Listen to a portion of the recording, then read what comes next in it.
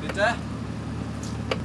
Und Gott, der Herr, pflanzte einen Garten Eden gegen Morgen. Den Garten Eden, Georgie, das Paradies. Das Paradies, Georgie. Und Gott, der Herr, ließ aufwachsen aus der Erde allerlei Bäume, lustig anzusehen und gut zu essen. Und den Baum des Lebens mitten im Garten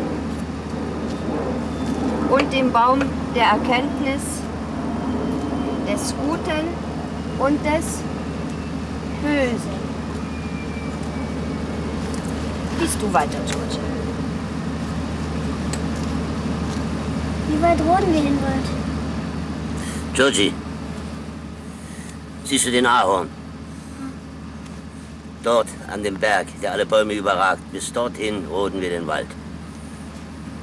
Ist dann das Paradies? Ja.